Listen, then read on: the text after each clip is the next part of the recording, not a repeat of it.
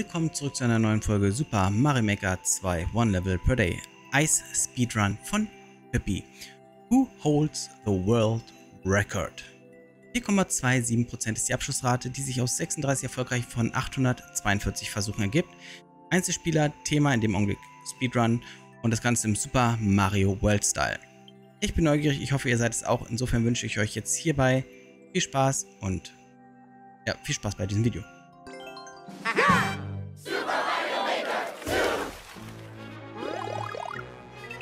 Da noch noch Eis. Oh Mann.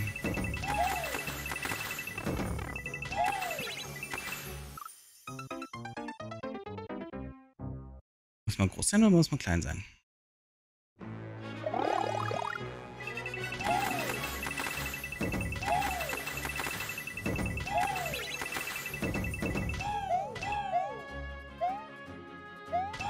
Ah, Ich habe ja Zeit, wie ich will.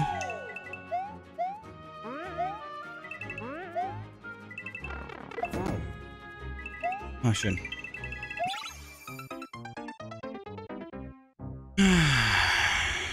Ah, Mann.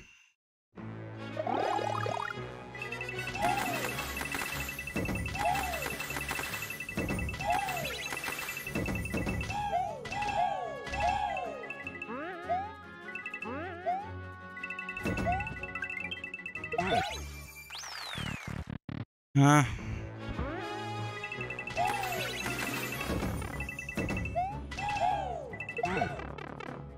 Hm.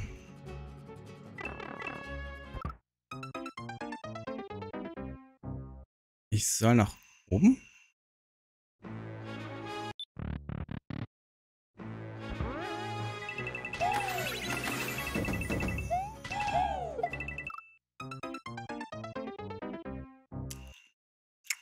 Glückwunsch, Stroh. Glückwunsch, du hast den Pau wieder gefangen.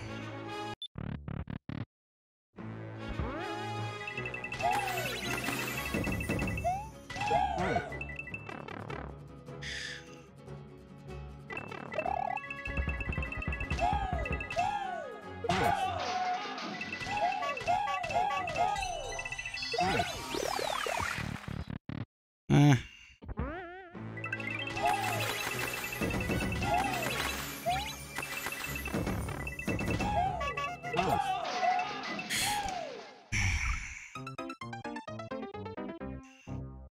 Okay.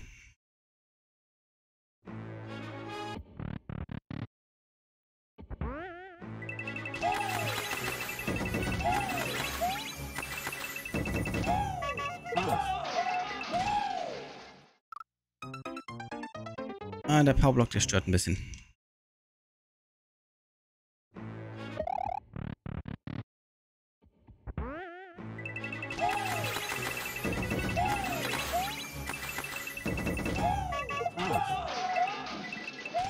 Muss man nämlich ein bisschen abbremsen. Hm.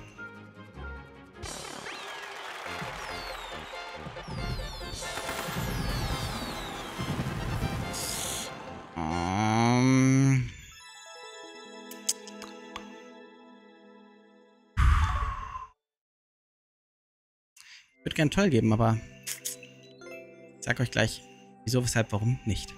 Im Detail. So, da sind wir auch schon im Detail.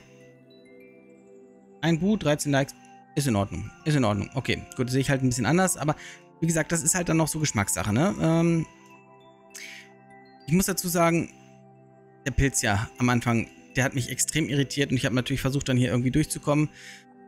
Und es hat halt so ein bisschen die Energie vom Speedrun rausgenommen. Darüber hinaus hast du halt hier Wände hingetan und wenn man falsch springt, kommt man hier zum Stocken, zum Stehen, wie auch immer. Genauso das gleiche, auch hier. Du musst hier perfekt gegenspringen, also genau hier an dieser Kante.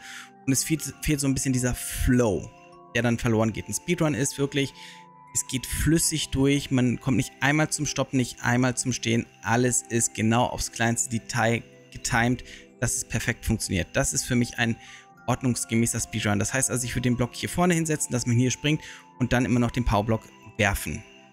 So. Hier haben wir dann genau das gleiche System wieder, dass man da drauf springt. ja, so, dann hier, wie gesagt, die Sprünge hast du sehr komisch bemessen. Es sind keine Full Jumps, es sind so äh, Dreiviertel Jumps, die dann auch mal für den ersten oder anderen falschen Versuch enden. Hier muss ich dazu sagen, hier hast du mich ein bisschen extrem irritiert, weil diese Pfeile waren mehr als irritierend. Mehr als irritierend. Denn schlussendlich sagst du, äh, du musst nach oben. Und nicht, Achtung, von oben kommt was runter. Weil das sieht man ja schon, dass von oben die Froms kommen. Das hat halt dann irritiert. Hier dann mit dem Powerblock, den musst du halt im letzten Moment werfen, damit du halt alle auf dem Bildschirm hast. Um dann hier mit kleinen Sprüngen das zu schaffen. Und hier ist wieder genau das gleiche. Du musst entweder genau die Kante erwischen oder aber halt bleibst stehen. So, hier geht es weiter und hier ist dann wirklich ein Showstopper.